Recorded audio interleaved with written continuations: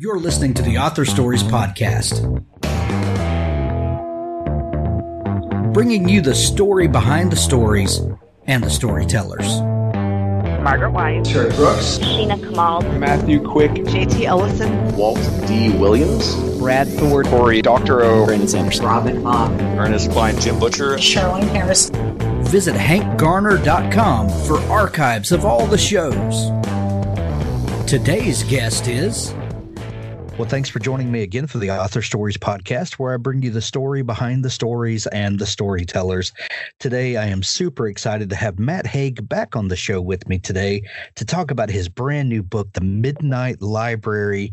And uh, I'll tell you what, this book had me uh, from from page one. You know, sometimes there's one of those books where you, you know you read the jacket and you're intrigued by the premise, and in the very beginning, the author delivers on that premise and you're just sucked in. And uh, The Midnight Library is one of those books, and I'm excited to talk about it today. Welcome back to the show, Matt. Hi, nice to be here again, Hank. Nice to speak to you once more. Absolutely, um, uh, Matt. We last time you told us this this great, fascinating story about um, you as a as a young man um, learning that writing uh, you know was could be therapeutic for you in in a way and that um, you know a, a, lot of the things that you uh, wrote uh, were dealing with feelings and and things like that. Um, do, do you have you ever read a book that completely transported you to another place and um, made you have this this feeling of empathy with the writer? Um, yeah, I mean, I, I, suppose that's what I really uh, seek out um, when I'm reading books. I mean, I read uh, a, a, lot. I like reading a lot of memoirs, and I've read um, a lot of memoirs over the years, and I've read some this year. There's a, a British writer called Laurie Lee, who I like a lot, who who writes about a place in England called the Cotswolds, and it's a, a, very rural area. And and every time you read one of those books, it sort of makes you empathise with him and his childhood, and sends you to this particular place and time. So yeah, I I I love I love that about about books. Sort of sense of deep empathy you get, and where where you sort of like are transported not just to a sort of another land, but into another mind. Yeah, that's why I read it in the in the inside of the book uh, the midnight library there's uh, you know when you kind of get past the the front matter of the book and and right before the the book goes in there's uh there's a a page with a, a paragraph with a quote, and it says, Between life and death, there's a library, she said. And within that library, the shelves go on forever. Every book provides a chance to try another life you could have lived, to see how things would be if you had made other choices.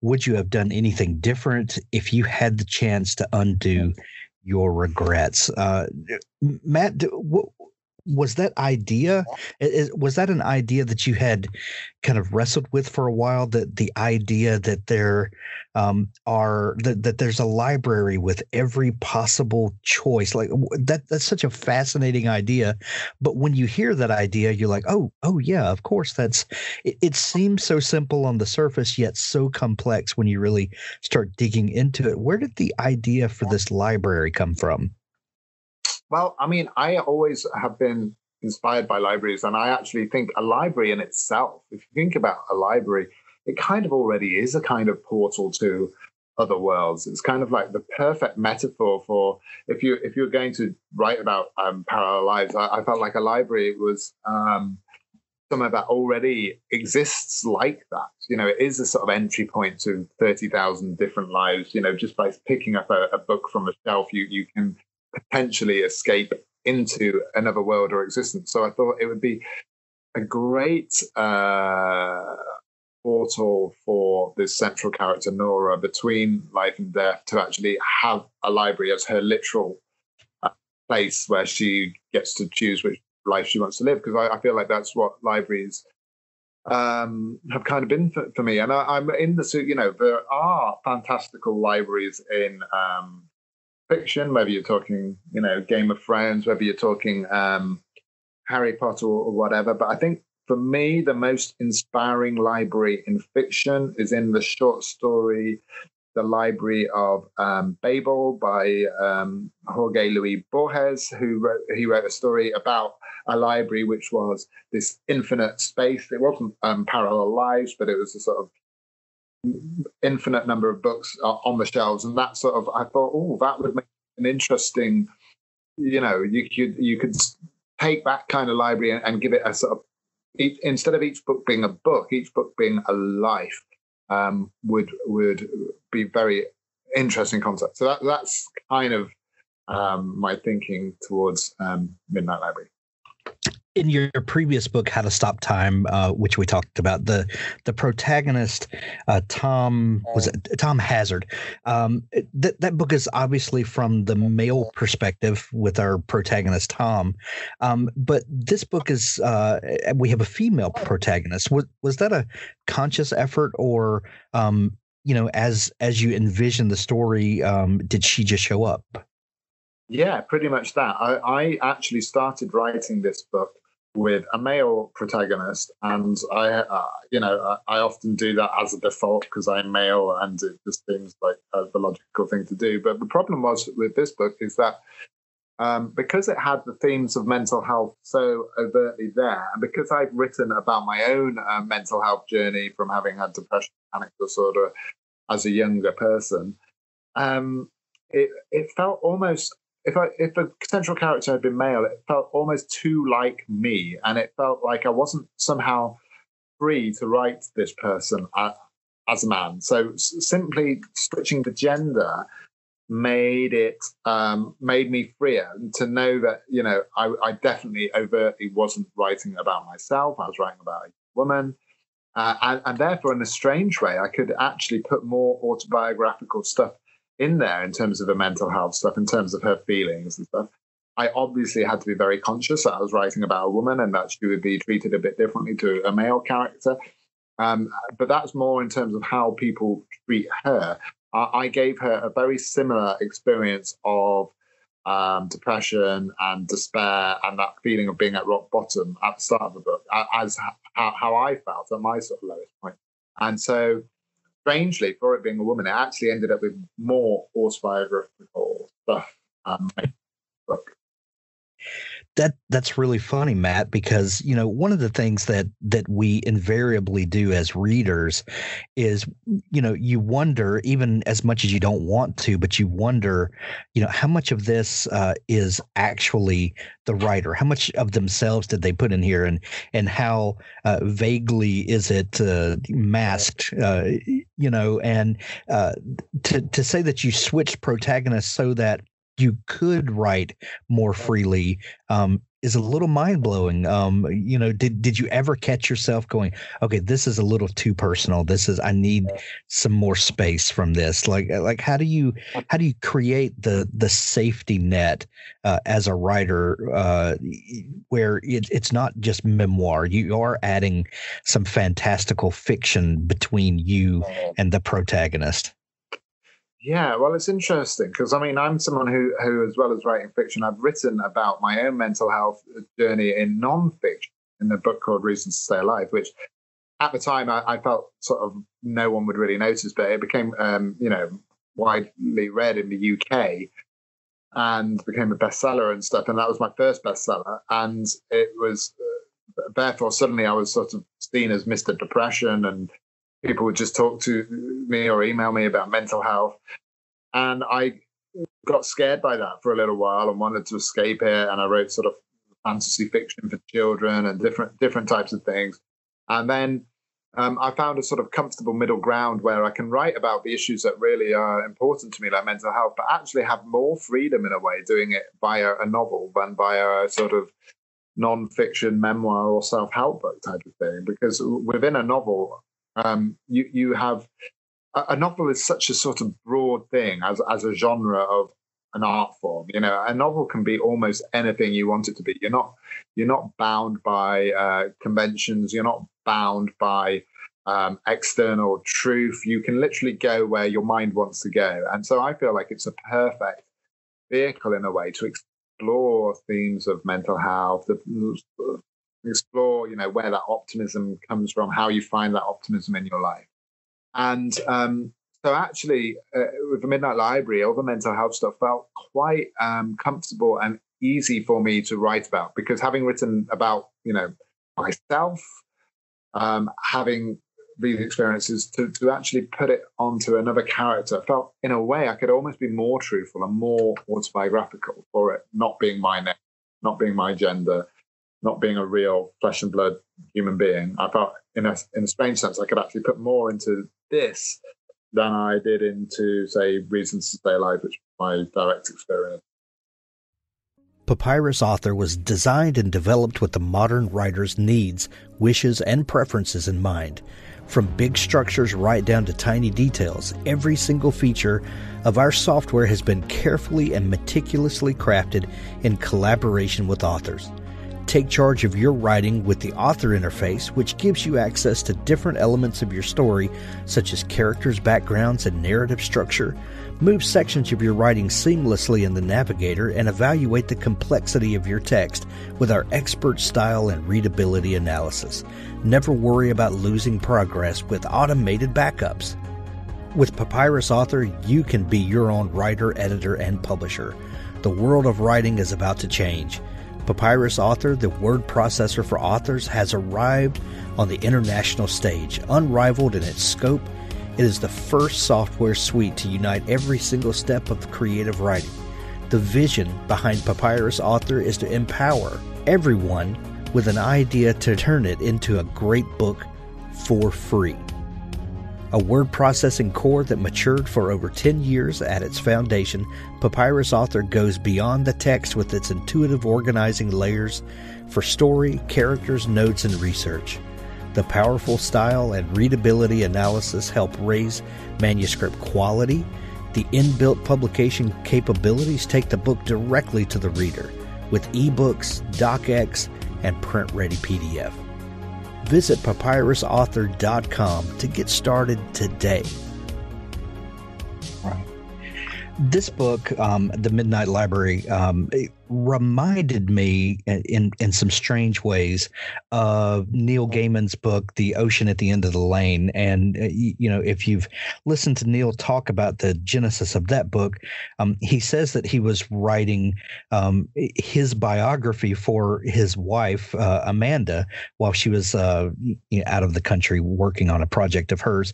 And you know so so he says that it's it it's about him but when you read the book it obviously ventures into fantasy and there's uh, you know you, you, can't really tell where the line is uh, between uh, him recalling his childhood and it just going into whimsical fantastical areas. Uh, and and I felt this way about this book um, the Midnight Library like like this is it, it felt so grounded so real um, and then but it, it obviously has fantastical elements.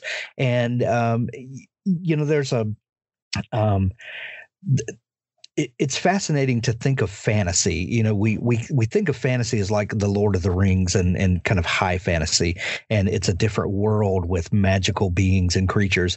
Um, but there's something about taking um, a story and people that feel very real and feel very grounded to where we are, and just allowing them to kind of go where the boundaries of reality are blurred. Um, how do you think about fantasy, and and do you um, uh, do you consider what you write as fantasy? Um, where do those genre uh, lines blur for you?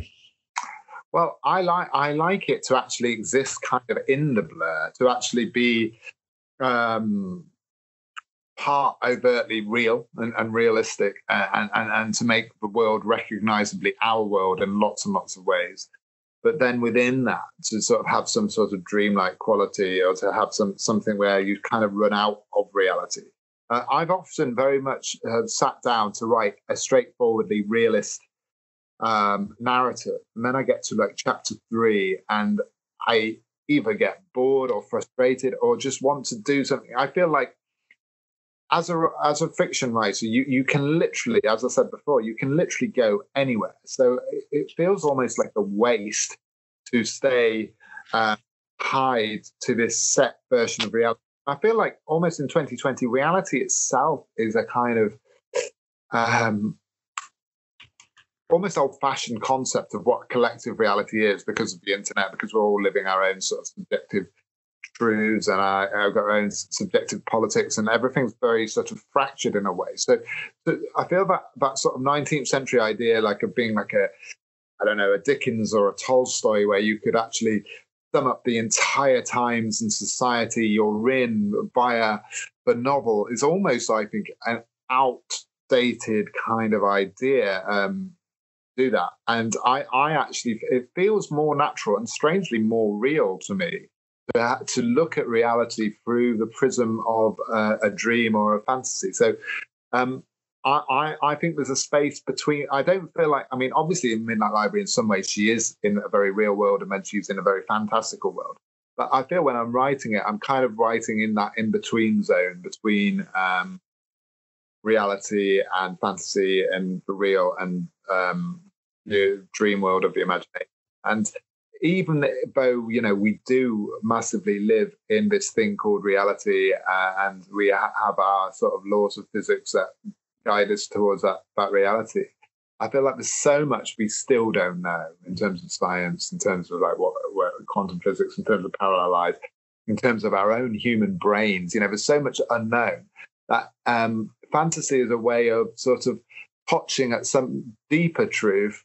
Um, it might not be the truth, but it's it's a way to sort of like suggest that there's always slightly more out there than we know. Whereas if you said it within a very very uh, recognizably real reality. I feel as a writer, I mean, I love reading those books as a reader, but as a writer, for me, I like to sort of go off on, on different branches and explore what could be rather than what definitely is in the beginning of the book, um, you introduce us to uh, Nora Seed right off the bat, and you take an interesting um, narrative style when you begin. Um, you know, the first chapter begins 19 years before she decided to die. Nora Seed, you know, dot dot dot, um, and then the next chapter is you know 19 years later and then it's you know 27 hours before she decided to die um, you don't bury the lead. Um, you know, we we get a feeling right away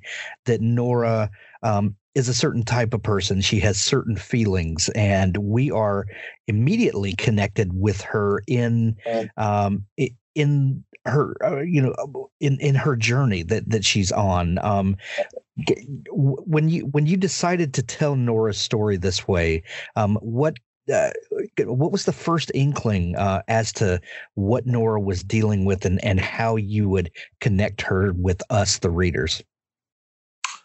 Um, yeah, I mean, I, I, the, thing, the part of this book I wrestled with most was whether to have in the opening section, um, you know, whether to be so explicit about her depression whether to be so foreboding about it with those, each section starting how many hours she has to before she decides to die and this that and the other and I, I reworked it a lot. Uh, for instance, that section before she reaches the Midnight Library, that was originally about 60 pages. I got it down to about 24, 25 pages, um, which I think hopefully is about the right balance.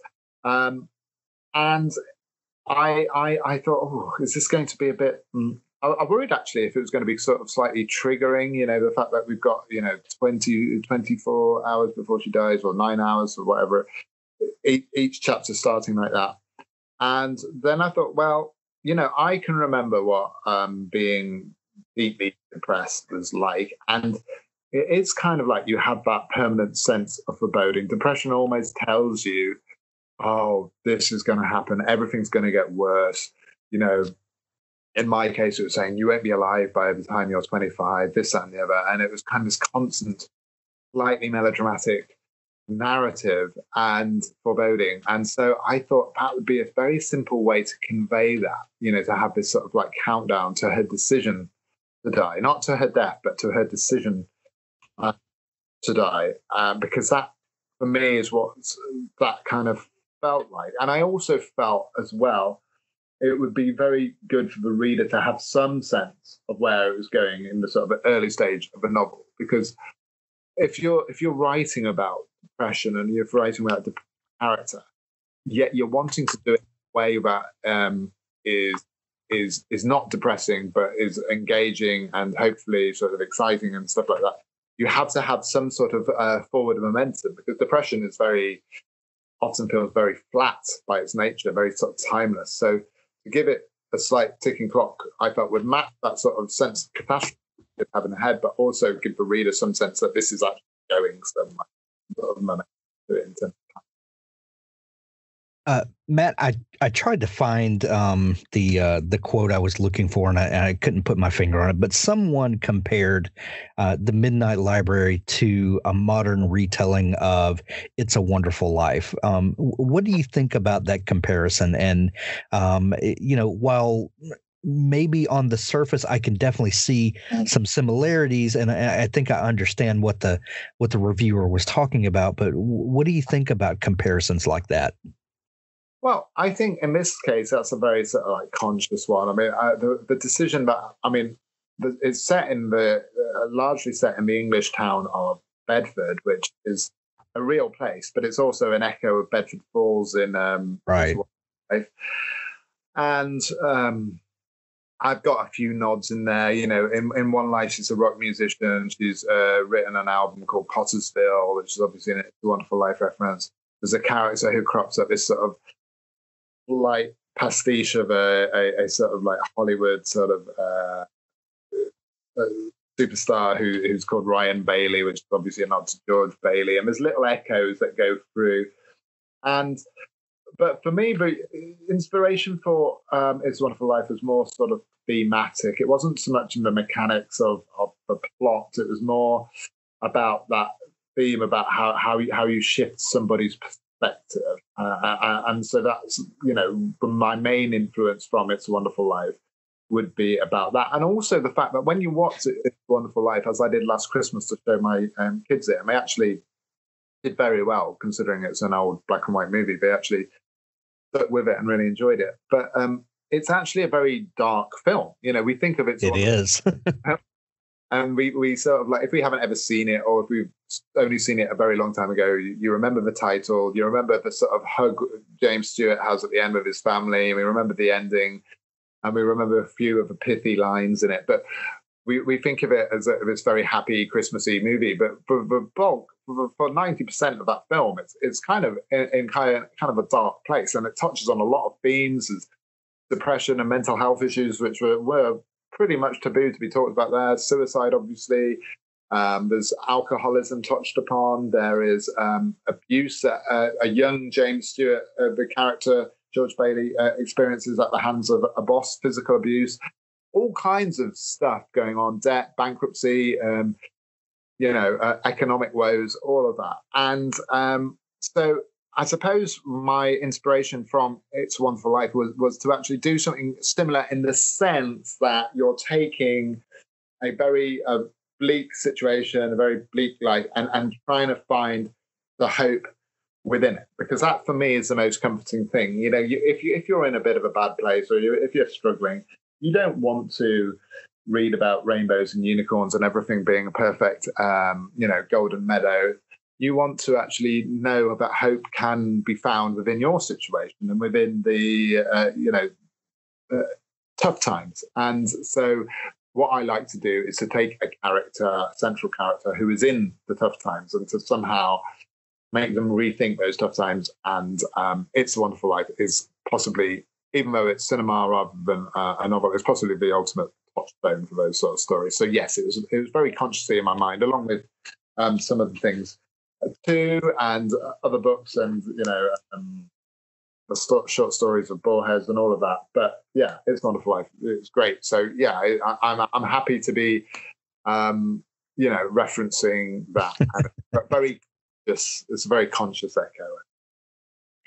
Matt, when you're when you're uh, in the beginning stages of a book like the Midnight Library, and you you get the kind of overarching idea, and you know, okay, I, I know what this book is going to be about. I know what the character is going to be about. Um, how much of a plan do you follow uh, in in the the writing of that book? Um, are, are you a planner up front, or, or are you discovering the story as you write it? I'm really not so much a planner in the literal sense of writing it down. I think obviously some sort of planning goes on in sense of my mind, and it's nice to have a sense of where you are going, um, even if you don't know all the sort of destinations you will pass on your way there. Um, so I'm not really a planner. You know, I, I see, uh, I, I, hear of thriller writers who have these sort of like uh, flow charts, and they have these complex uh, diagrams and whiteboards and stuff like it's a, a, sort of police headquarters. And I would love to be a bit more like that. But the way I write is I have to sort of write it. I have to, to actually know what I'm writing. I have to kind of just be in the act of writing. I can't sort of step outside it at the start and, and do a list of chapter one, chapter two, chapter three, or any of that stuff. Um, so I, I write non-chronologically, for instance. So if I've got a good scene in mind, it's probably a scene that'll happen halfway through the story.